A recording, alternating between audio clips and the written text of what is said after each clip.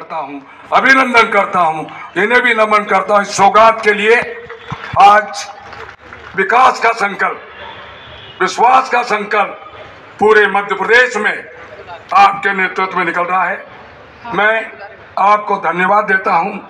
जिस प्रकार से शंकर जी ने कहा